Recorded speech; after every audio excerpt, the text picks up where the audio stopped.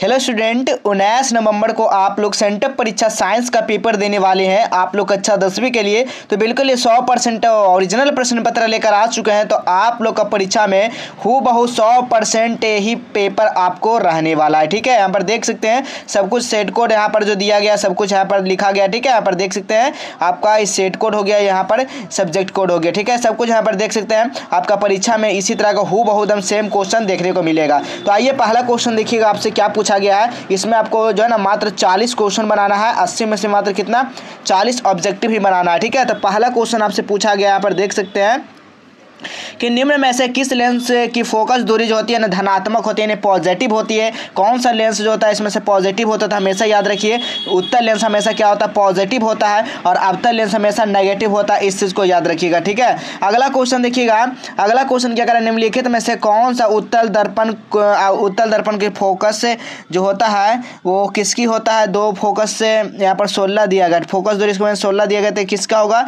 वक्रता इसका क्या हो जाएगा, ठीक है? तो बिल्कुल इसको याद रखिएगा, आठ हो जाएगा या सोलह हो जाएगा तो बिल्कुल याद रखिए इसका जो है, सोलह हो जाएगा, ठीक है? बत्तीस सेंटीमीटर दिया गया तो इसका आधा हो जाएगा, क्योंकि इसका बख्ता तेजा क्या होता आधा होता है ना? चलिए, अगला क्वेश्चन देखिएगा, तीसरा नंबर क्वेश्चन क्या पूछा गया है? प्रकाश के अपवर्तन के कितने नियम है? तो सभी को पता होगा, प्रकाश के अपवर्तन के दो नियम है बाबू तो इसका राइट जो आंसर होगा ऑप्शन नंबर सी हो जाएगा, ठीक है? और कहाँ से इसका प्रश्न पत्र सब्जेक्टिव क्वेश्चन कहाँ से डाउनलोड कर पाएँगे? सब कुछ इस क्लास में बताएँगे, इस क्लास को पूरा ज़रूर आप लोग देखिएगा। अगला क्वेश्चन है तरंधर को समानता व्यक्त किया जाता है। तरंधर को हम लोग किस चीज़ से मापते हैं? तो एंगस्ट्रॉम से मापते हैं। तो ऑप्शन नंबर यहाँ पर क्या होगा? बी बिल्कुल राइट आंसर जो भी आंसर बताया जा रहा है, बिल्कुल सौ परसेंट सही आंसर बताया जा रहा है, ठीक है? अगला क्वेश्चन देखिएगा। किसी किसी लेंस द्वारा उत्पन्न आवर्धन का ऐसे मात्रक क्या होता है? तो इसका कोई भी आवर्धन लेंस का मात्रक नहीं होता। ये मात्रक विहीन होता है, इसलिए इसका ऑप्शन नंबर डी हो जाएगा। अगला क्वेश्चन देखिएगा। सिक्स नंबर क्वेश्चन किसी गोलीय दर्पण द्वारा बना प्रति आवर्धन जो है ना एम है, निम्नलिखित में से तो बराबर किसका होगा?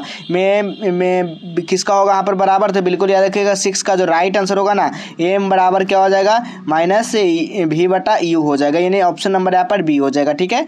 अगला क्वेश्चन देखिएगा बाबू, अगला क्वेश्चन क्या अगर सातवां नंबर क्वेश्चन आपसे पूछा गया है, यदि एक अवतल दर्पण के सामने रखी एक वस्तु की दर्पण की दूरी बढ़ा दी जाए तो उसका प्रतिबिंब की दूरी क्या हो जाएगा? तो हमेशा याद रखिएगा, सात का जो हो जाएगा हमेशा क्या हो जाएगा? घट जाएगी। यानी इसका राइट जो आंसर हो जाएगा ऑप्शन नंबर सी हो जाएगा। अगला क्वेश्चन है, उत्तल दर्पण की फोकस दूरी और उसकी बख्ता त्रिज्या का अनुपात कितना होता है? तो आठ का जो राइट आंसर हो जाएगा वन रेशियो यानी कि वन बटा दो होता है, ठीक है? यानी ऑप्शन नंबर यहाँ पर बी हो जाएगा। अगला क्वेश्चन है, नेत्र लेंस की वक्ता त्रिज्या कम हो जाने से कौन सा दृष्टि दोष होता है बाबू? तो लेंस की वक्ता त्रिज्या कम हो जाने से उनको निकट दृष्टि दोष हो जाता है। इसका राइट जो आंसर होगा ऑप्शन नंबर यहाँ पर सी हो जाएगा, ठीक है?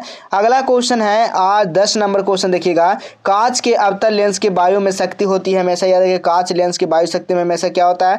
धनात्मक भी होता है और आपका ऋणात्मक भी होता है, यानी कि इसमें से दोनों हो जाएगा, ठीक है? ऑप्शन नंबर यहाँ पर सी हो जाएगा। अगला क्वेश्चन है, एमीटर से निम्नलिखित में से किसे मापा जाता है? तो मीटर को हमेशा याद रखिए धारा मापा जाता है, यानी एम्पियर में मापा जाता है। ऑप्शन नंबर यहाँ पर डी बिल्कुल राइट आंसर हो जाएगा, ठीक है? अगला क्वेश्चन है बारह नंबर क्वेश्चन, उपकरण जो विद्युत ऊर्जा को यांत्रिक ऊर्जा में बदलता है, वो क्या कहलाता है? तो वो क्या कहलाएगा बाबू? तो याद रखिएगा, वो विद्युत मोटर ही कहलाएगा, ठीक है?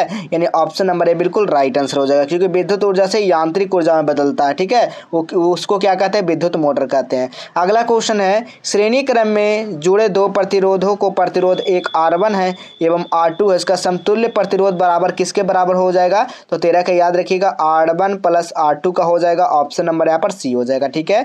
अगला क्वेश्चन देख लीजिएगा। अगला क्वेश्चन है नवीनीयकरण ऊर्जा का स्रोत। इसमें से कौन सा नवीनीयकरण ऊर्जा का स्रोत है? तो कोयला सीमित भंडार इसका, ठीक है?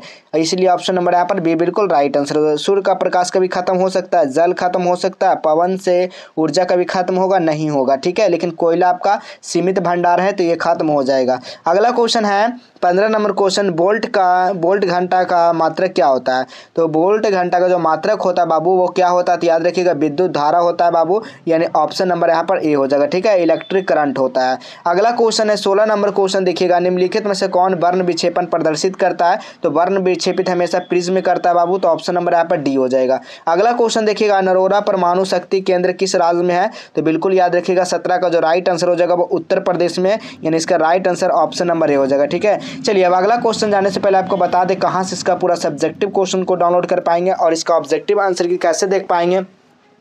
तो सबसे पहले अपने फ़ोन में गूगल ब्राउज़र को ओपन करना है और यहाँ पर टाइप क्या करना है? नालंदा हेल्प डॉट इन ठीक है? इसी तरह से आपको लिख देना है। कुछ नहीं नालंदा हेल्प जैसे लिखेंगे तो आ जाएगा, ठीक है? नालंदा हेल्प डॉट इन आप लोग लिख देना है, जैसे आप लोग लिखेंगे तो इस तरह का आपको साइट देखने को मिल जाएगा, ठीक है? यहाँ पर देख सकते हैं तो इसी वाला लिंक पर आप लोग क्या कर दीजिएगा? क्लिक कर दीजिएगा। जैसे आप लोग यहाँ पर क्लिक करते हैं तो यहाँ पर देखिए, दो तरीका एक आंसर के यहाँ पर देखने को मिल जाएगा, ठीक है? या तो फिर आप डायरेक्ट नीचे आ जाइए। यहाँ पर देख सकते हैं, Bihar board matric centre exam दो हज़ार पच्चीस all subject question paper download link ठीक है? तो यहाँ पर आप लोग क्लिक कर देना। इस पर जैसे आप लोग क्लिक करेंगे तो यहाँ पर देख सकते हैं खोल कर आ जाएगा, ठीक है? सब कुछ इसमें बताया गया, ठीक है? आपको नीचे आ जाना है। जैसे आप लोग नीचे को स्क्रॉल करेंगे और यहाँ पर तो देखिए, पहले हिंदी का आ जाएगा, उसके बाद हिंदी का सब्जेक्टिव देखने को मिल जाएगा। फिर आपको यहाँ पर संस्कृत का देखने को मिल जाएगा। फिर यहाँ पर देखिएगा तो साइंस का आपको देखने को मिल जाएगा, ठीक है? यहाँ पर देख सकते हैं class tenth science objective answer के सेंटर परीक्षा दो देखिए, सारा आंसर के यहाँ पर अपडेट कर दिया गया, जो भी आपको स्कूल में बनाना सारा आंसर की अपडेट कर दिया गया। सब्जेक्टिव क्वेश्चन भी अपडेट हो जाएगा। कुछ ही देर में तो यहाँ से डाउनलोड कर सकते हैं सब्जेक्टिव क्वेश्चन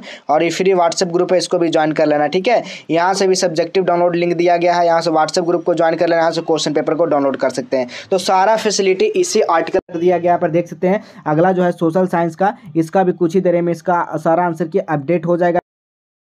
का सारा आंसर की इसका भी अपडेट हो जाएगा और इसका भी सब्जेक्टिव क्वेश्चन यहाँ पर सारा आंसर की अपडेट हो जाएगा, ठीक है? चलिए, अगला क्वेश्चन देखते हैं बाबू। अगला क्वेश्चन क्या कहा जा रहा है? नंबर क्वेश्चन है, पवन विद्युत जनित्र में कुंडली को घुमाने का काम मूलतः करती है, क्यों, क्या करती है? ये उच्च दाब की हवा को, ठीक है? ऑप्शन नंबर यहाँ पर ए हो जाएगा। अगला क्वेश्चन देखिएगा।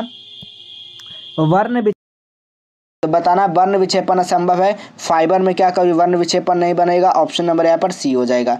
अगला क्वेश्चन देखिएगा। अगला क्वेश्चन क्या करा? सौ वाट और दो सौ वाट का अनुमत बल्ब को सौ वोल्ट से आपूर्ति को जोड़ने पर विद्युत धारा का मान कितना हो जाएगा? तो ज़ीरो पॉइंट पच्चीस एम्पियर हो जाएगा। ऑप्शन नंबर डी हो जाएगा। ठीक है? अगला क्वेश्चन है, एक विद्युत, एक वस्तु की नेत्र से दूरी बढ़ाने पर रेटिना का प्रतिबिंब क्या हो जाएगा? तो एक वस्तु है, उसको हम लोग दूरी बढ़ाएँगे तो रेटिना पर जो प्रतिबिंब बन जाएगा, वो क्या हो जाएगा? वो समान साइज़ का ही रहेगा, ठीक है? ऑप्शन नंबर बी हो जाएगा। अगला क्वेश्चन है, विद्युत चुंबकीय प्रेरण की खोज किसने किया तो विद्युत प्रेरण की खोज फेराडे ने किया था। ऑप्शन नंबर यहाँ पर ए बिल्कुल राइट आंसर होगा। अगला क्वेश्चन देखिएगा, निम्नलिखित में से कौन सा कथन सत्य है? इसमें सही क्या लग रहा है? जूल बराबर क्या है कुलाम इंटू वोल्ट यानी ऑप्शन नंबर डी हो जाएगा। अगला क्वेश्चन है, प्रतिरोध का ऐसा मात्रक क्या होता है? सभी को पता होगा, प्रतिरोध का ऐसा मात्रक जो होता है, वो ओम होता है, यानी ऑप्शन नंबर सी हो जाएगा। अगला क्वेश्चन देखिएगा, पच्चीस नंबर वोल्ट बराबर क्या होता है? तो वोल्ट बराबर जो होता है, वो क्या होता है, गुलाम बट जूल बट्टा गुलाम होता है। ऑप्शन नंबर ए हो जाएगा। अगला क्वेश्चन है, बेंजिन का सूत्र क्या होता है? बेंजिन का सूत्र सी सिक्स एस सिक्स होता है। ऑप्शन नंबर यहाँ पर सी बिल्कुल राइट आंसर हो जाएगा। अगला क्वेश्चन है स्टेशन यानी कि स्टेनलेस स्टील में लोहा एवं कार्बन के अलावा क्या होता? है निकेल भी होता है क्रोमियम भी होता। है यानी ऑप्शन नंबर यहाँ पर बी हो जाएगा। अगला क्वेश्चन देखिएगा सोडियम के परमाणु बाहितम कक्षा में इलेक्ट्रॉनों की संख्या कितनी होती है बाबू? तो अट्ठाईस का जो राइट आंसर होगा, वो एक हो जाएगा। ऑप्शन नंबर यहाँ पर ए बिल्कुल सही आंसर हो जाएगा। अगला क्वेश्चन है हाइड्रोजन के दो परमाणुओं के बीच कितने अबंध बनते हैं बाबू? तो हाइड्रोजन के दो परमाणुओं के बीच जो अबंध बनते हैं ना, वो कितने बनते हैं आपसे पूछा गया है? तो एक अबंध बनते हैं, इन इसका राइट जो आंसर हो जाएगा, ऑप्शन नंबर ए हो जाएगा, ठीक है? अगला क्वेश्चन देखिएगा, ग्लूकोज के एक अणु में ऑक्सीजन की कितने परमाणु होते हैं? तो ग्लूकोज का जब भी बात किया जाएगा तो आपको सिक्स होगा, ऑप्शन नंबर यहाँ पर बी बिल्कुल राइट आंसर होगा। अगला क्वेश्चन है, तांबा की परमाणु संख्या कितनी होती है बाबू? तांबा की जो परमाणु संख्या होता है, वो उनतीस होता है। याद रखिएगा, ऑप्शन नंबर यहाँ पर सी हो जाएगा, ठीक है? चलिए, अगला क्वेश्चन देखिएगा। अगला क्वेश्चन क्या कहा जा रहा है? एथेन, यानी कि एथेन में एक अणु में कितने सहसंयोजक बंधन होते हैं? तो बत्तीस का जो राइट आंसर हो जाएगा ना, वो आपका सात हो जाएगा। बिल्कुल सही आंसर हो जाएगा, ठीक है? अगला क्वेश्चन है अम्ल राज के ताज़ा बिलियन में किस अनुपात में सांद्र हाइड्रोक्लोरिक अम्ल नाइट्रिक अम्ल में होता है? तो बिल्कुल याद रखिएगा, तैतीस का जो राइट आंसर होगा, वो थ्री रेशियो वन होता है ऑप्शन नंबर यहाँ पर डी हो जाएगा, ठीक है? तो यहाँ पर देखिए, आपको तैतीस तक बता चुके हैं बाबू। तैतीस का बाद जितना है, आपको आप लोग कहाँ से देख सकते हैं? आप लोग वेबसाइट से देख सकते हैं, ठीक है? कहाँ से देख सकते हैं? वेबसाइट से जाकर वहाँ से आप लोग पचास में आपको जो है ना, चालीस में वहाँ से चालीस आप लोग कर लीजिएगा, ठीक है? आप लोग को तैतीस तक पूरा यहाँ पर बता दिया गया है, बिल्कुल सही पर, सौ परसेंट सही सही आंसर और क्वेश्चन पेपर हु यही रहेगा, ठीक है? याद रखिएगा आप लोग। तो चलिए हम लोग इसी तरह मिलेंगे अगले नए, नेक्स्ट क्लास में।